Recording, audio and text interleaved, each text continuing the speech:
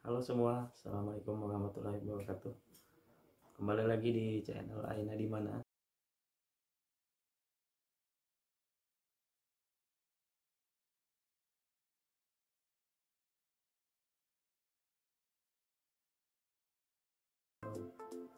Pernah gak sih kalian waktu mau bikin konten itu ngeblank, nggak ada bahan sama sekali atau pernah gak sih kalian mau punya ide konten cuman sepertinya kurang materi yang bisa ditambahkan untuk konten kalian.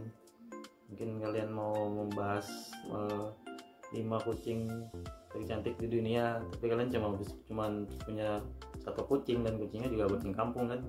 Bingung juga mau bikin konten dari itu nah untuk itu kan kalian perlu materi dari beberapa video mungkin yang ada di YouTube untuk bisa digunakan di konten kalian. Sementara di YouTube itu tidak bisa kalian sembarangan upload ulang videonya karena di situ ada peraturan hak cipta. Tapi kalian perlu nih bahannya. Tapi kalian mungkin juga pernah memperhatikan uh, konten orang lain yang mana videonya beberapa mengumpulkan beberapa cuplikan dari video orang lain lagi. Tapi bisa di upload di YouTube itu. Nah sekarang di video ini kita akan coba sedikit membahas itu bagaimana caranya sih agar video orang itu bisa kita gunakan di konten kita dan tidak melanggar hak cipta. Itu namanya adalah video yang berlisensi Creative Commons. Apa itu video berlisensi Creative Commons? Creative Commons itu adalah organisasi nirlaba yang ada di California Amerika Serikat yang mana mereka itu mencoba untuk memperluas suatu karya kreatif yang tersedia untuk orang lain yang secara legal agar bisa digunakan kembali dan dibagikan kembali ke orang lain. Jadi sederhananya mereka itu ingin agar karya kreatif orang itu bisa kembali digunakan oleh orang lain tanpa ada masalah hak cipta. Nah sekarang di apa hubungannya Creative Commons dengan YouTube? Di YouTube itu kan video itu semuanya memiliki hak cipta ya. Kita baru upload video original kita akan langsung mendapatkan lisensi hak cipta standar dari itu.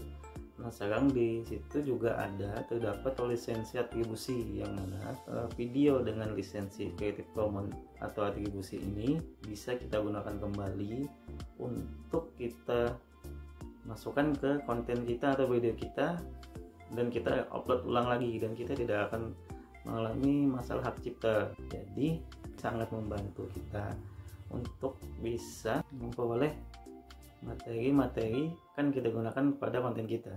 Nah di YouTube itu kan banyak video tentang kucing tapi tidak semuanya bisa kita ambil. Kita tidak bisa sembarangan mengambil video dari YouTube. Karena di situ ada yang namanya hak cipta klaim hak cipta. Nah sekarang bagaimana caranya agar kita bisa mendapatkan video itu? Nah sekarang caranya itu ya kita cari video yang berlisensi Creative Commons. Nah, video ini bisa kita ambil bisa kita download dan kita jadikan bahan untuk konten kita lalu kita upload ke YouTube dan tidak akan mendapatkan masalah cipta dan ini salah satu contoh video Creative Commons yang saya temukan di YouTube ya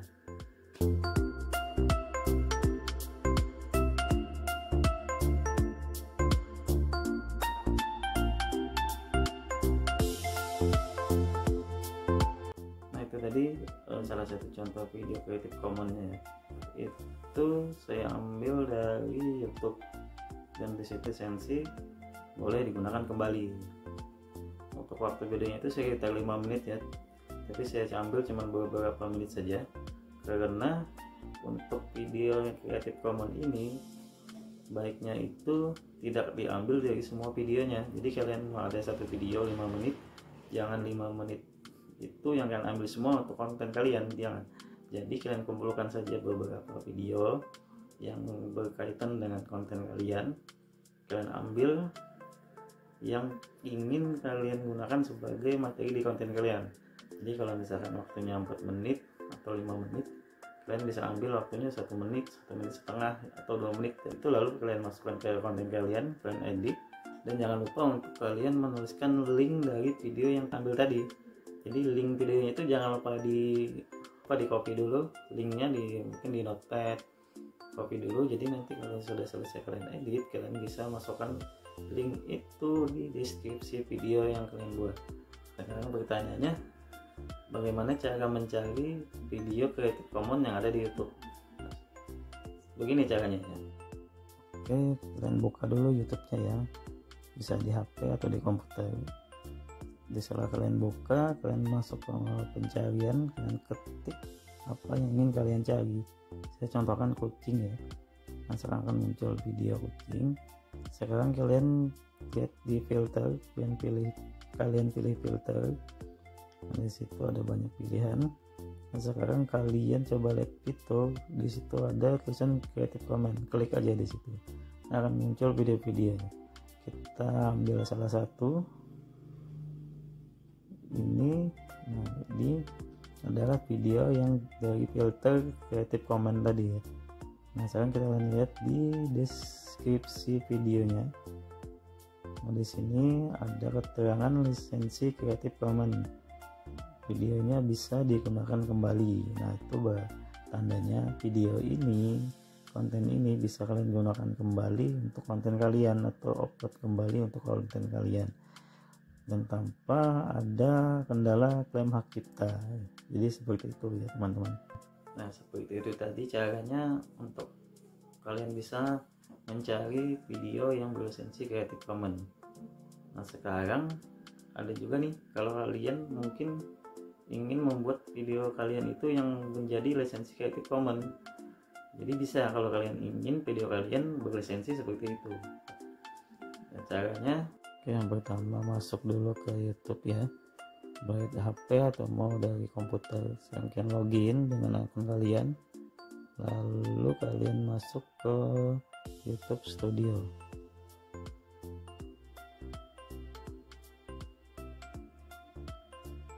Oke setelah masuk di menu YouTube Studio kalian pilih video.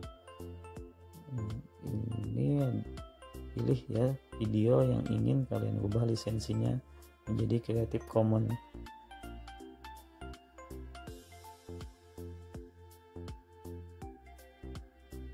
Pilih salah satu.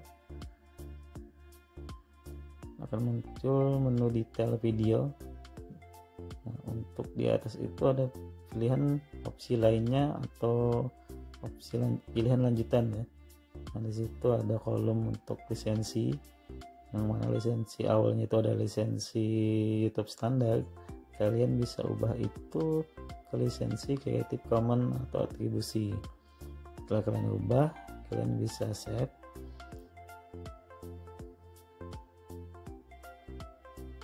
oke setelah di save maka video ini akan berubah menjadi lisensi Creative Commons. Jadi begitu caranya teman-teman untuk mengubah lisensinya nah begitu tadi caranya. Nah ini kan kalau kita sudah mengerti ini sudah mengetahui tentang ini kan pertanyaan yang di awal ini kan bisa sedikit terjawab ya. Mungkin pada saat kita agak blank dalam membuat konten atau kita kekurangan bahan untuk konten kan bisa dicari video-video yang lisensi kreatif komen tadi. Jadi itu bisa membantu kita untuk menjelaskan masalah pertanyaan di awal tadi. Ya. tanpa kita kena masalah klaim hak cipta seperti itu keuntungan dari Creative Commons ini itu masih bisa dimonetisasi ya masih bisa kita masukkan iklan di dalamnya. Beberapa literasi saya yang baca itu memang masih bisa dimonetisasi. Asal kita melakukan upload ulangnya itu sesuai dengan ketentuan dari itu. Yang ini tapi tetap kalau kalian mau bikin konten tetap yang original yang paling bagus. gitu. Original itu yang paling pertama. Jadi kalian kalau misalkan uh, blank atau lagi kurang materi atau apa bolehlah kalian cari untuk konten kalian itu di Creative Commons ini. Termasuk juga untuk ini ya untuk materi yang berupa suara seperti lagu itu. Itu lebih baik kita cari yang tidak memiliki masalah tentang hak cipta karena kalau kita upload uh, konten yang di situ ada lagu yang ternyata lagu itu punya orang lain dan dia kita nanti ada masalah nanti di channel kita. Dan sampai kita kena teguran hak kita di situ. Karena kalau kita terlalu banyak kena teguran dari YouTube kan mungkin bisa jadi nanti ujung-ujungnya channel kita kena take down. Jadi sebisa mungkin hindari saja masalah yang teguran hak cipta atau klaim hak cipta seperti ini. Jadi solusinya ya kita cari uh, bahan-bahan atau materi-materi yang memang dari YouTube itu dibolehkan untuk dipakai di konten kita sendiri.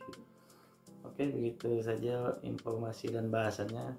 Di video ini saya tidak bermaksud untuk menggurui ya saya cuma hanya untuk men-sharing membagi informasi saja. Mungkin ada teman-teman yang baru mengetahui hal ini dan untuk yang sudah mengetahui ya boleh kalau saya ada salah informasi atau salah apa dalam video ini bisa dituliskan saja di kolom komentar. Oke teman-teman terima kasih sudah memperhatikan sudah melihat video ini sampai habis.